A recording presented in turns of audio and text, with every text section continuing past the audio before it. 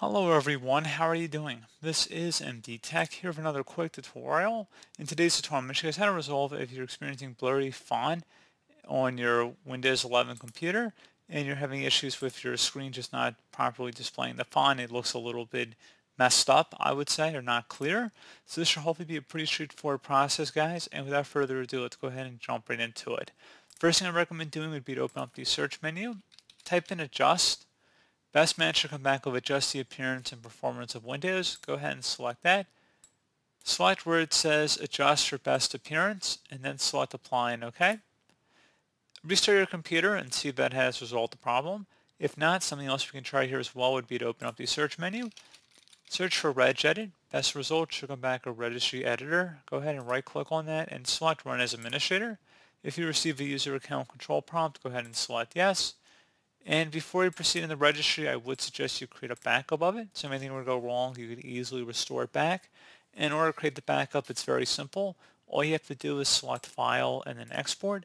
File name, I recommend naming it the date in which you're making the backup. Set export range to all and save it to a convenient and easily accessible location on your computer. And if you ever need to import it back in, all you'd have to do is select File and then Import and navigate to the file location. So now we're ready to begin. So we're going to start by double clicking on the HKey current user folder. Do the same thing now for the control panel folder. Same thing for desktop, so go expand that. So if you need to pause the video at this point, you can see the file path up at the top of the screen here. Each backslash is a different folder we've gone under. And now on the right panel, since we have desktop selected, you want to go down to Win8 DPI scaling right here. And you want to double click on that you want to make sure it's set to 1. So delete the 0, type a number 1 in here. And then you want to go ahead and select OK. And now you want to look for something that says log pixels. If you don't see that value in here, you're going to have to go ahead and create it. So I don't see it, so I'm going to right click in a blank area, select new, and then dword 32-bit value. I'm going to call it log L-O-G pixels, P-I-X-E-L-S exactly how you see it on my screen here.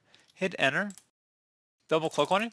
You want to set the value data to 78, so just type in 78, exactly how you see it on my screen here, and then select OK. And once you've done that, I would suggest closing out of the registry editor. You will need to restart your computer at this time.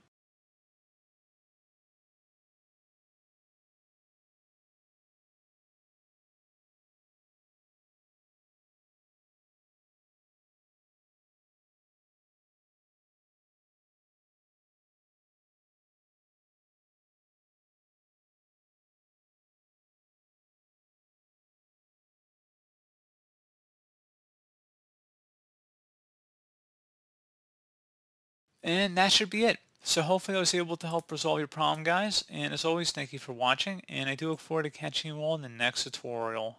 Goodbye.